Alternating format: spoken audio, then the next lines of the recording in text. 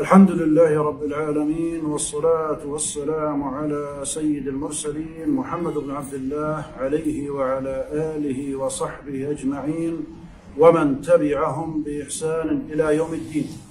أما بعد نعيش هذا اليوم اليوم الثامن من شهر ذي الحجة الذي يسمى بيوم التروية والذي يبدأ فيه حجاج بيت الله الحرام بأعمال الحج. وسمي هذا اليوم بيوم التروية لأن الحجاج كانوا قديما يرتوون من الماء ويأخذون معهم الماء إلى منطقة منى وإلى عرفة لأنه لم يكن هنالك ماء في تلك الأماكن. ويوم غد يوم التاسع من ذي الحجة هو يوم عرفة. وسمي يوم عرفة لأن حجاج بيت الله الحرام يؤدون فيه ركن الحج الأعظم وهو الوقوف على جبل عرفة. وهذا اليوم الذي يسمى بيوم عرفة هو يوم فضائله عظيمة عند الله سبحانه وتعالى. ومن فضائل هذا اليوم أنه يستحب صيام هذا اليوم كما بين ذلك النبي صلى الله عليه وسلم. وبين لنا أن صيام هذا اليوم يكفر ذنوب سنتين سنة ماضية وسنة مقبلة كما في الحديث في صحيح مسلم عن أبي قتادة قال سئل رسول الله صلى الله عليه وسلم عن صوم يوم عرفة قال يكفر ذنوب سنتين سنة ماضية وسنة مقبلة. وهذا بلا شك فضل عظيم لا ينبغي لأي مسلم أن يغفل عن هذا الفضل العظيم عند الله سبحانه وتعالى. ولا يحرم هذا الفضل إلا المحروم الذي حرم نفسه هذا الفضل ساعات قليلة ثم يغفر لك بإذن الله سبحانه وتعالى ذنوب سنتين كما قال النبي صلى الله عليه وسلم. ويوم عرفة في هذا العام يأتي في يوم الجمعة. كما جاء في أعوام سابقة في أعوام سابقة في سنوات سابقة جاء يوم عرفة يوم الجمعة حجة الوداع في عهد النبي صلى الله عليه وسلم الحج الذي حجها النبي صلى الله عليه وسلم كان يوم عرفة في يوم الجمعة. السؤال الذي أثير في هذه الأيام عبر مواقع التواصل الاجتماعي هل يجوز إفراد يوم الجمعة بصيام عرفة يعني نصوم يوم عرفة في يوم الجمعة لوحده نفرده لوحده. نقول بداية نتحدث عن حكم الصيام في يوم الجمعة أو إفراد الصيام في يوم الجمعة. النبي صلى الله عليه وسلم كما في الحديث المتفق على صحته من حديث أبي هريرة قال لا يصومن أحدكم يوم الجمعة إلا يوما قبله أو يوما بعده. يعني إفراد الجمعة بدون سبب.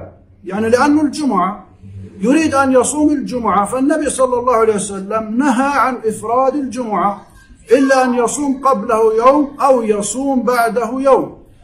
لكن إذا كان هنالك سبب للصيام بأن جاء يوم عرفة أو يوم عاشوراء أو الأيام البيض أو الست من شوال أو صيام داود الذي كان يصوم يوم ويفطر يوم. جاء في يوم الجمعة فيجوز صيام هذه الأيام في يوم الجمعة ولو كانت منفردة. يعني ولو لم يصم قبل الجمعة يوم اللي هو مثل اليوم اليوم الخميس. لقول النبي صلى الله عليه وسلم كما في الحديث في صحيح مسلم من حديث أبي هريرة قال لا تخصوا ليلة الجمعة بقيام من بين الليالي. ولا تخصوا يوم الجمعة بصيام من بين الأيام إلا في صوم يصومه أحدكم. يعني النبي صلى الله عليه وسلم بيقول لك إذا وافق يوم الجمعة صيام أنت بتصومه مثل يوم عرفي غدا الجمعة يكون يوم عرفي هذا اليوم يصومه الناس.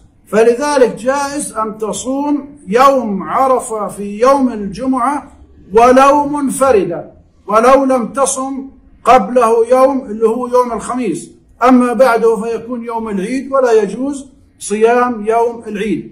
لذلك نقول يجوز صيام يوم عرفي غدا الجمعة ولو لم تصم اليوم اللي هو اليوم الخميس لأن هذا الصيام له سبب وهو أنه يوم عرفي ولا أعلم ما سبب يعني هذا الخلط والإرباك الذي حصل عبر مواقع التواصل الاجتماعي. وبعد غد اللي هو يوم السبت يكون يوم النحر العاشر من ذي الحجة. وسمي بيوم النحر لأن حجاج بيت الله الحرام يذبحون وينحرون الهدي. في هذا اليوم تقربا إلى الله سبحانه وتعالى. وكما أنه يوم لنحر وذبح الهدي من قبل حجاج بيت الله الحرام تقربا إلى الله سبحانه وتعالى فهو كذلك يوم ذبح للأضاحي بالنسبة لنا. فطيبوا بها نفسا ووسعوا على عيالكم وأرحامكم ولا تنسوا الفقراء والمساكين من أضحياتكم. وعظموا هذه الشعيرة فإنها من شعائر الله. ذلك ومن يعظم شعائر الله فإنها من تقوى القلوب. واعلموا جميعا أن المقصود من الأضحية ليس فقط اللحم ليس المقصود اللحم بالدرجة الأولى. اللحم مقصد ثانوي المقصود من الأضحية هو التقرب إلى الله سبحانه وتعالى. لذلك يجب علينا أن نلتزم بالشروط الشرعية لهذه الأضحية حتى تكون مقبولة عند الله سبحانه وتعالى. لما تخلف شرط الذبح قبل بعد صلاة العيد وذبح أبو برده قبل صلاة العيد ماذا قال له النبي صلى الله عليه وسلم؟ قال له شاتك شاة لحم ليست من النسك في شيء إنما هو لحم تقدمه لأهلك. وأقول باقي شروط الأضحية. إذا لم تلتزم بهذه الشروط الشرعية التي جاءت عن النبي صلى الله عليه وسلم فكما قال النبي صلى الله عليه وسلم شاتك شاة لحم ليست من النسك في شيء إنما هو لحم تقدمه لأهلك. فيجب على المسلم أن يهتم بهذه الشعيرة وبإحكام هذه الشعيرة حتى تكون مقبولة عند الله سبحانه وتعالى لأن المقصود ليس مجرد اللحم وإلا لأجزأت بأي شيء. نسأل الله سبحانه وتعالى أن يبلغنا يوم عرفة وأن يبلغنا يوم العيد وأن يجعلنا فيه من المقبولين وأن يغفر لنا ولجميع المسلمين. والسلام عليكم ورحمة الله وبركاته.